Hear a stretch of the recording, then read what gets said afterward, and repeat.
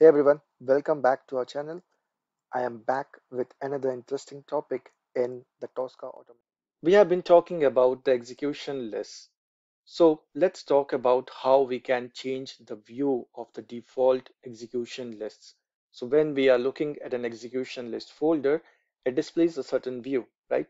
So there are certain columns which are displayed. I can always add more columns by going to column chooser and then add more columns to this particular view or I can even remove some of the columns right but apart from this you can also change the default view which means you can change the details which are displayed on this particular view and then you can add more details or change the whole uh, structure of how the results are displayed on the execution list. To do that, you need to go to the View tab and under the View tab, you will find the execution list. Now, if you click on the drop down, you will see there are few options which are already selected. Okay. And these are the default options which are enabled when you open an execution list. Now, there are few other options. So let's go through each of the option and let's see what it does or how it changes the view of the execution list. So if I uh, enable this show only last actual log, you will see it will reduce the number of actual logs. It will only show you the last actual log, which means the actual log which was generated after you executed it.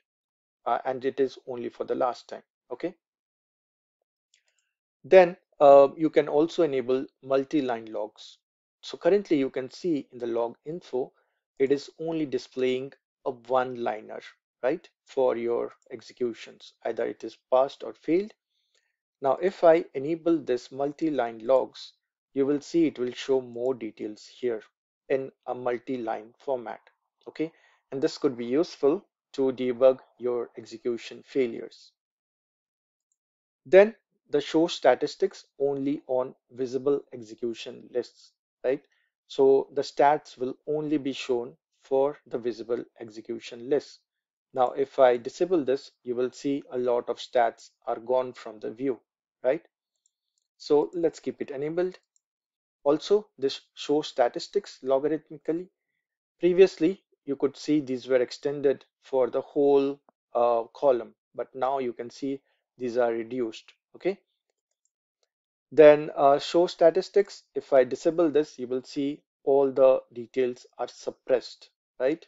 So no bars are displayed um, and it doesn't tell you whether the test case has passed and how much it has passed, how much it has failed, right? So you can always enable this show statistics and it will show you these details here. Then uh, you can also enable the show failed logs only. Okay. So here you will see that it will show the logs for your failed test cases. And then if you want to change the format of this duration, currently it is uh, displaying it in a hour and minute and seconds format, right? Uh, we can change it to show only in duration of seconds. So here you will see the duration is now being shown in seconds, okay? So that could be useful uh, for tracking how much time it took to execute a particular step or test case.